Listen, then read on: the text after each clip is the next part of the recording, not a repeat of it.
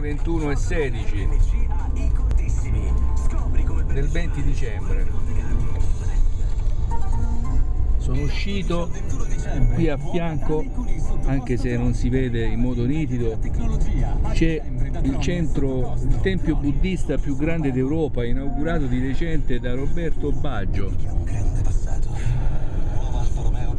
Cascina La Guardia, che è una struttura che penso che starà per essere inglobata dal Tempio medesimo. Riprendo queste scene dickensiane, sembrano uscite dal romanzo Grandi illusioni del grande Dickens. Oddio, grande per la capacità descrittiva, ma senso dell'umorismo per andarlo a cercare in quelle pagine, ma del resto le vicende di cui trattava non è che fossero propense a sposarsi con, con nessun tipo di sorriso, neanche amaro. La nebbia ha avvolto la città, il naviglio, aureola l'illuminazione pubblica i fari delle macchine assumono dei contorni sfrangiati. Come un novello Gadda pesco le parole qua e là che mi arrivano dai linguaggi più disparati anche della gente di strada. Mi sa che sfrangiato viene da qualche parrucchiere.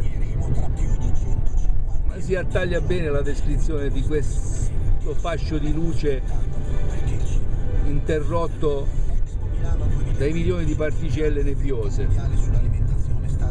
o comunque mitigato o comunque attenuato è quasi Natale solo da expert lo interpretano così vado verso casa mentre su Radio Monte Carlo trasmettono la inevitabile pubblicità in attesa che parta qualche pezzo di musica decisamente più ascoltabile, ma in realtà è un'emittente questa che fa la migliore, trasmette la migliore musica in assoluto.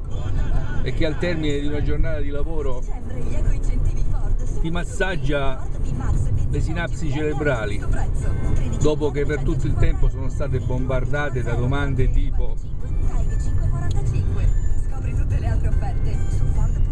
quante persone, quante persone possono dormire in un letto matrimoniale?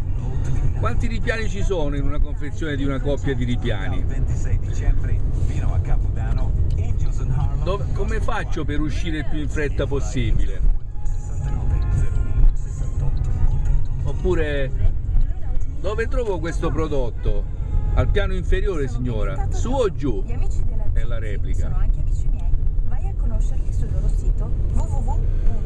La nebbia. Si presenta così esteticamente apprezzabile nel smussare i contorni degli angoli dei palazzi e in generale della vita che conduciamo. quanto in senso negativo ottunde i pensieri e i linguaggi delle persone. Non sappiamo più parlare confondiamo anta con ripiano. Per, confondiamo piano inferiore non sappiamo dire se è sopra o sotto. Se non dici giù da basso non capiscono. Non, ci, ci siamo mangiati i complementi di specificazione. Tipo ho bisogno un'anta ho bisogno, una, ho bisogno ho bisogno di una struttura, ho bisogno di un tappeto, non più ho bisogno di un tappeto, di un'anta, di una struttura. E che cavolo!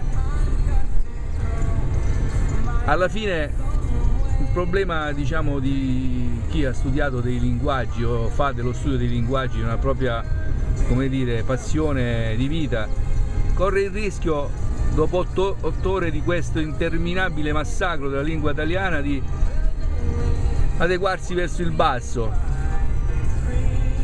ed, ed arrivare a un tale grado di stress psicofisico da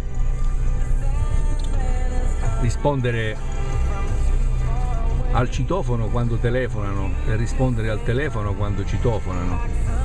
E la nebbia, la nebbia che circonda tutto, circonfonde tutto, anche il furbo dell'ultima ora che ha scavalcato cambiando corsia, ma chi se ne frega?